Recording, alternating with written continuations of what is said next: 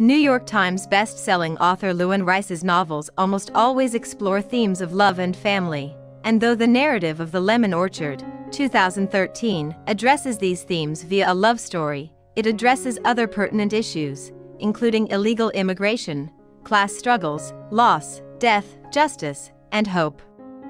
Told from multiple viewpoints, the story takes place in idyllic Southern California, where Julia and Roberto explore love, loss, and redemption in a Malibu lemon orchard in the beautiful Santa Monica Mountains.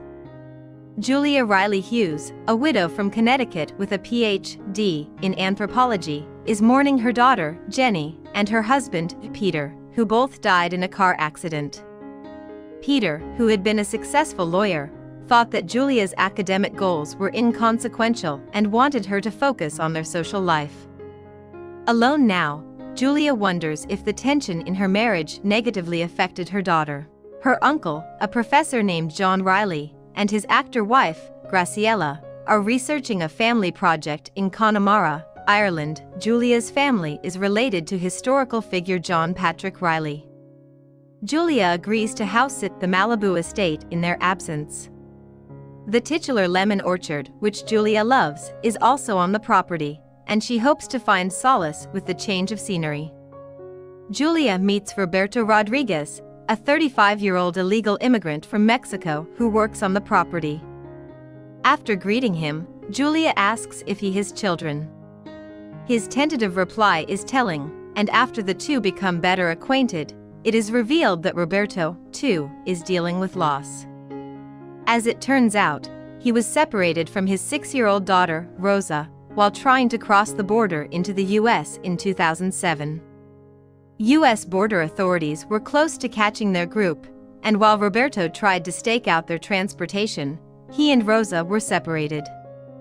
He still blames himself for the incident. The narrative explains how daunting the journey is for those who try to enter the US. In earlier days, immigrants would try to cross into the US via rivers, hence the derogatory term wetback.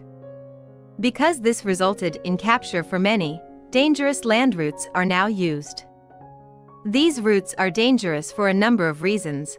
Crossings are often done in relentlessly hot, dangerous weather.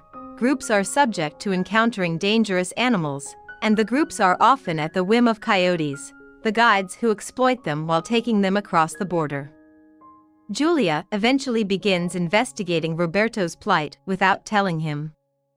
She contacts Reunion Project, an investigative group in La Jolla, California comprising forensics experts and archaeologists who try to determine the status of migrants who have gone missing while attempting to cross the border. Julia also visits a retired border patrolman, Jack Leary, in Yuma, Arizona. Jack was one of the patrolmen who rounded up Roberto's group on the night his daughter disappeared. Leary relates how he did, in fact, find the footprints of a child, but, on finding no child, sought the help of the Shadow Wolves, a team of expert trackers. Their research found that Rosa had been rounded up by another group, but they were only able to find her running shoes, and no one knows what happened to her after being picked up.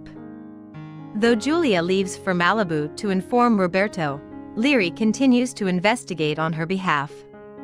Increasingly, Julia and Roberto begin to feel for each other. Though the believability of their unconventional romance has been questioned by critics, several threads in the narrative support this romance.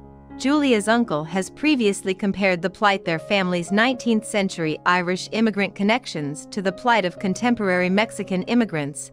Julia's uncle is married to someone from another ethnicity. Julia often felt a connection when younger to their relative John Patrick Riley.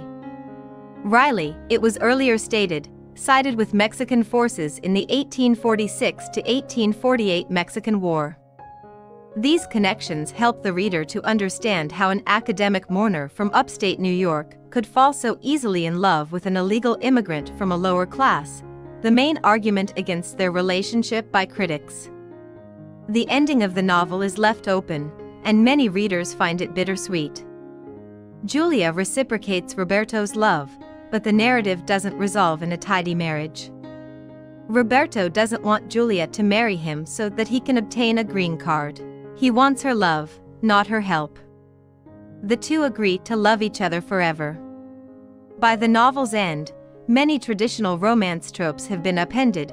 Julia is the stronger character of the two, there's a strong feminist thread throughout the narrative, though traditional romance often portrays the male as stronger, the HEA, or happily ever after, which is usually mandatory for a romance, is more of a happily for now, HFN, though the forever can also be viewed as HEA.